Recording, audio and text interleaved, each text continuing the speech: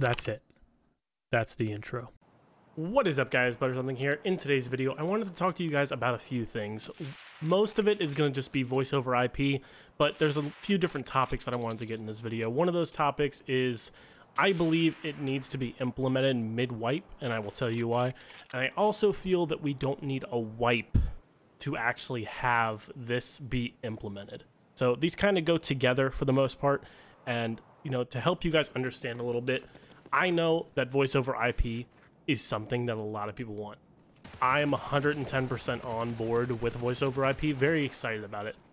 Although I do have my worries of it being abused, such as, and I don't know if you guys have, you know, friends in Discord with soundboards and stuff like that, but you will have a lot of people actually using soundboards and alike to actually make grenades sound like they drop near you, make loud sounds, so on and so forth.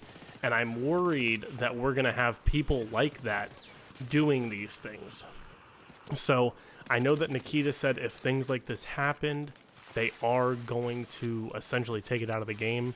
And I don't necessarily agree with that wholeheartedly, but I think that if we are going to have an issue along those lines, it's definitely something we need to shut down early. But also, if we do have those things, we need it to come out mid-wipe so that people aren't necessarily screwed over by it.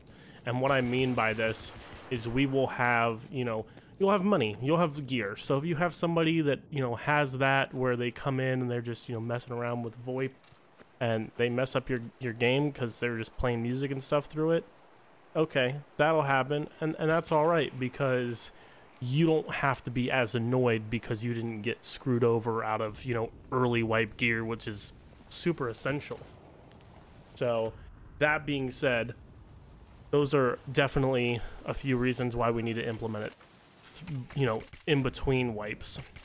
Another thing is that I do hope that they add the ability to go ahead and have maybe your voice off, but you have the ability to listen to VoIP. I also want the ability to disable it completely and the ability to enable it completely. So where your voice will work and you'll be able to hear others' voices or you don't hear it at all.